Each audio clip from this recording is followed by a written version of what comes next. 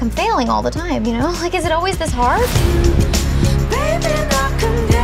Why do you need a boyfriend right now? This isn't Jane Austen times. I'm sorry. I'm just having a small life panic. I just want to be the kind of woman who knows what she wants and she's not afraid to go after it.